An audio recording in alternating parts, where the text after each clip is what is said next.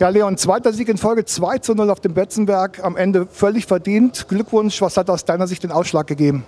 Ja, aus meiner Sicht auch völlig verdient. Ähm, ich denke, wir haben eine richtig gute erste Halbzeit gespielt.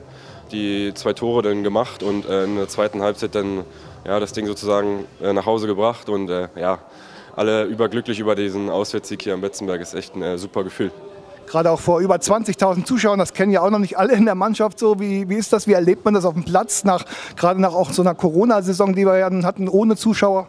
Ja, super Gefühl. Also gerade, wie, wie du schon sagst, nach so einer Corona-Saison ähm, hier auf dem Betzenberg vor, vor so vielen Zuschauern zu spielen und dennoch äh, ja, zu gewinnen, ein gutes Spiel zu machen und ja, einfach ein super Gefühl. Ähm, dass wir jetzt noch gewonnen haben, noch besser. Also wir fahren echt mit einem sehr guten Gefühl nach Hause, denke ich alle. Ja, könnt ihr zu Recht. Vor allem macht es auch richtig Spaß, von außen zuzugucken.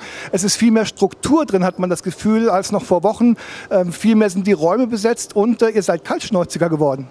Ja, auf jeden Fall. Wir machen jetzt äh, die Tore. Ähm, äh, in der Vergangenheit war es oft so, dass wir ein Tor gemacht haben und dann nie nachgelegt haben. Jetzt machen wir das. Äh, sind wir wieder 2-0 in Führung gegangen und äh, ja, spielen das auch, das, das 2-0 zum Beispiel super raus. Ähm, und ja, spielen trotzdem mit der gleichen Leidenschaft weiter. Und das ist, denke ich, im Moment ausschlaggebend, dass wir, dass wir die Siege dann oder die, diesen, Endsta äh, diesen äh, Zwischenstand über die Zeit bringen.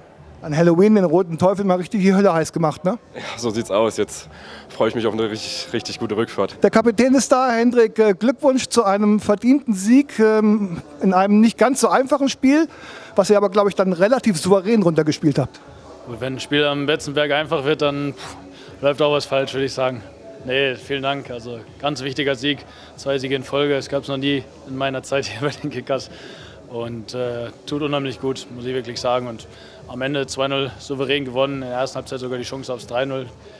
Klar, am Ende auch viel noch in letzter Sekunde gerettet, aber das gehört dazu. Zwei Siege in Folge, du hast schon gesagt. Und, und das freut den Torwart, denke ich, besonders zu null. Ja, das, die Bilanz ist ja auch noch definitiv zu verbessern hier bei den Kickers. Ich glaube, das dritte Mal jetzt. Nee. Also in dieser Saison das zweite Mal ganz wichtig, auch für mich persönlich, muss ich wirklich sagen. Es ist einfach ein schöneres Gefühl, ist auch für die Mannschaft wichtig.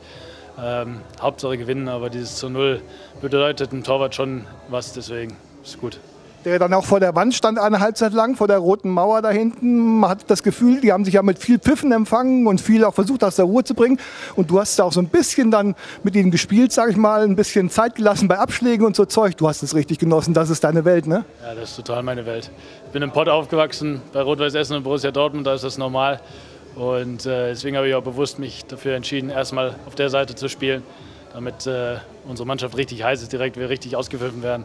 Flogen ein paar Feuerzeuge, das ist geil, das ist Fußball und dann zu gewinnen. Schöneres gibt es nicht. Ihr wart richtig heiß, ihr habt richtig strukturiert dann auch gespielt. Sicherlich hat Lauter die ersten zehn Minuten gedrückt und dann auch natürlich so die letzten 30 Minuten. Klar, die mussten ja versuchen, zum Anschluss zu kommen. Aber irgendwie hat man gemerkt, ja, an Halloween den roten Teufeln die Hölle heiß machen, das ist richtig eure Welt. Ja, habe ich auch das Gefühl. Nee, wir haben uns an Plan gehalten, das war einfach wichtig. Ähm, sehr konsequent verteidigt, immer schnell versucht, wieder rauszuschieben mit der Viererkette.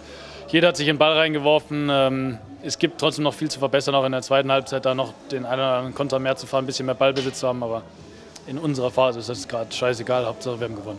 Und ein bisschen mehr Zeit jetzt, geht ja erst Montag in der Woche weiter gegen äh, Eintracht Braunschweig.